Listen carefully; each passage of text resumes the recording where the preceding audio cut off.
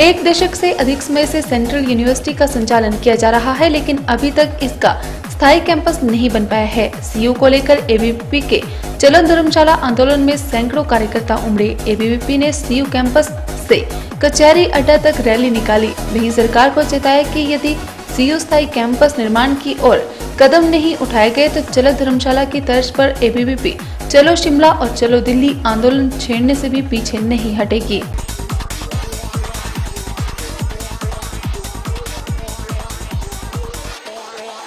ABVP ने CU निर्माण को लेकर केंद्र व प्रदेश सरकार सहित सीयू प्रशासन के खिलाफ जमकर नारेबाजी भी की।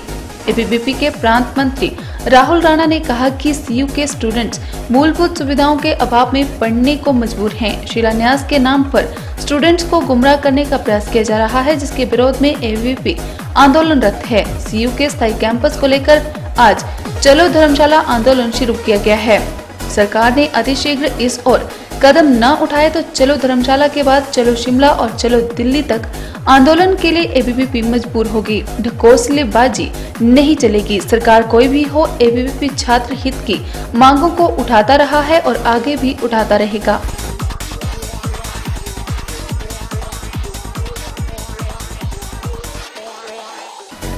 प्रदेश के राज्यपाल बंडारू दत्तात्रेय ने धर्मशाला में जिला भर में संचालित योजनाओं सहित विकास कार्य की समीक्षा की। डीसी कार्यालय में आयोजित बैठक की अध्यक्षता करते हुए राज्यपाल ने कहा कि न विचार डीसी कार्यालय में आयोजित बैठक की अध्यक्षता करते हुए राज्यपाल ने कहा कि नाबाचार के माध्यम से कांगड़ा जिला को नशा मुक्त और आदर्श जिला बनाएँगे।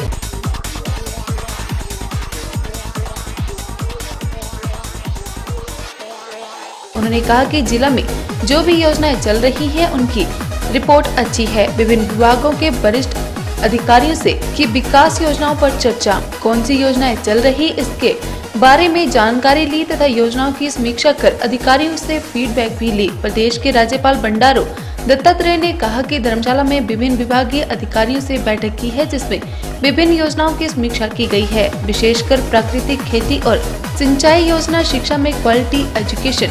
सरकारी स्कूलों में उन्नत शिक्षा के लिए क्या किया जा रहा है? हेल्थ डिपार्टमेंट में हिम केयर योजना का काफ़ी लोग लाभ ले रहे हैं। मैंने अधिकारियों को कहा कि नवाचार के माध्यम से हम कांगड़ा जिला को आदर्श जिला बनाना चाहेंगे और नशा मुक्त कांगड़ा जिला बनाना चाहेंगे। जिला कांगड़ा में क्या क्या चल रहा है और कैसे चल रहा है, इसकी रिपोर्ट अच्छी है। प्रदेश व केंद्र सरकार से जो फंडिंग के इश्यू हैं, उनके बारे में भी चर्चा की गई।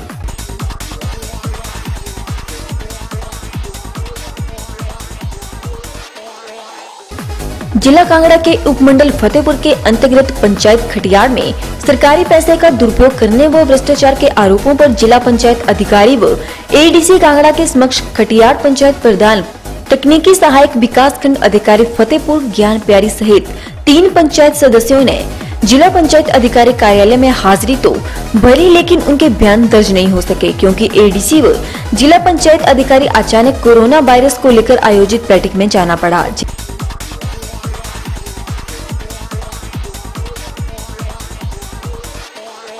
जिला पंचायत अधिकारी अश्विनी कुमार ने बताया कि इन लोगों को आज बुलाया गया था, लेकिन अचानक से विशेष बैठक का आयोजन होने के कारण पेशी को अनिश्चित काल के लिए प्रस्तावित कर दिया। उन्होंने कहा कि इस मामले में जल्द ही नई तिथि निर्धारित कर तलब किया जाएगा। गौर रहे कि पिछले एक वर्ष पूर्व शिकायतकर्ताओं करमचंद, ब्रिजमोहन स्वर्ण कुमार विजय कुमार सहित करीबन छह दर्जन लोगों ने एक साल पहले जिला दिस कांगड़ा, जिला पंचायत अधिकारी व बीडीओ फतेहपुर को पंचायत खटियार में प्रति प्रदान की दखल अंदाजी पंद्रह अगस्त की कार्रवाई खुद लिखने व उसमें जाली हस्ताक्षर करने यहाँ तक कि पंचायत सदस्य जो इस बैठक में नहीं आए थे, उनके भी जाली हस्ताक्षर कर दिए थे। वो बिना किसी एजेंडे के आईआरपीडी में पात्र लोगों को दरकिनार कर अपने चहितों को फ़ायदा पहुँचाया था।